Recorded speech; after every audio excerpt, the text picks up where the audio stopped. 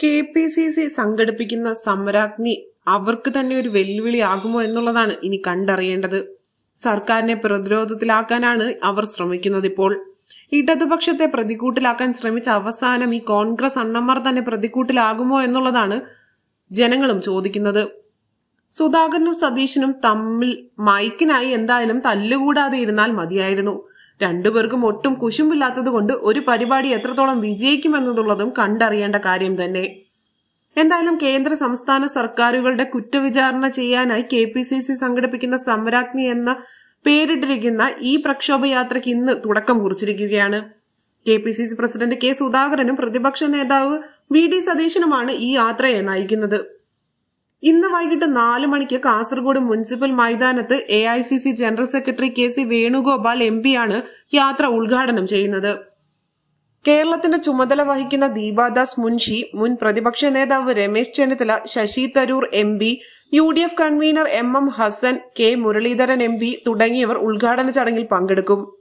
സമാപന സമ്മേളനത്തിൽ A I C C അധ്യക്ഷൻ മല്ലികാർജുൻ ഖാർഗെയോ പ്രിയങ്ക ഗാന്ധിയോ പങ്കെടുപ്പിച്ചേക്കും. ഗ്രീൻ പ്രോട്ടോകോൾ പാലിച്ചായിരിക്കും എല്ലാ പരിപാടികളും നടക്കുക.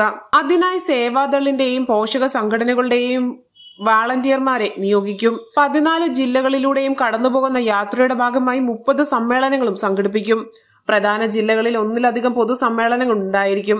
തിരുവനന്തപുരം എറണാകുളം പാലക്കാട് മലപ്പുറം ഇടുക്കി ജില്ലകളിൽ മൂന്ന് വീതവും കണ്ണൂർ കോഴിക്കോട് തൃശൂർ കോട്ടയം ആലപ്പുഴ കൊല്ലം എന്നിവിടങ്ങളിൽ രണ്ടു വീതവും കാസർഗോഡ് വയനാട് പത്തനംതിട്ട ജില്ലകളിൽ ഓരോന്നുമായിരിക്കും പൊതുസമ്മേളനങ്ങൾ.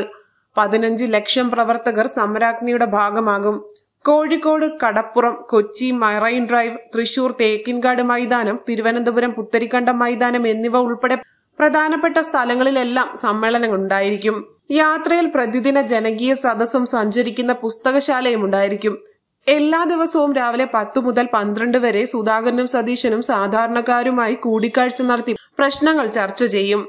കർഷകർ തൊഴിലാളികൾ യുവജനങ്ങൾ സ്ത്രീകൾ ജനകീയ സമരങ്ങളിൽ പങ്കെടുത്തവർ കലാ സാംസ്കാരിക രംഗത്തെ പ്രമുഖർ പോലീസിന്റെയും മാഫിയകളുടെയും ആക്രമണത്തിനിരയായവർ ദുരിതമനുഭവിക്കുന്ന പ്രവാസികൾ ലൈഫ് ഉൾപ്പെടെയുള്ള ജനക്ഷേമ പദ്ധതിയിൽ നിന്ന് തഴയപ്പെട്ടവർ സാമൂഹിക ക്ഷേമ പെൻഷൻ കിട്ടാത്തവർ തുടങ്ങിയ എല്ലാ വിഭാഗം ജനങ്ങളിൽ നിന്നും പരാതികൾ കേൾക്കാനാണ് തീരുമാനം. എന്തായാലും ഈ സമരാഗ്നി നവകേരള സദസ്സിനെ കോപ്പിയടിച്ചതാണെന്ന് തീരെ പറയുകയുമില്ല.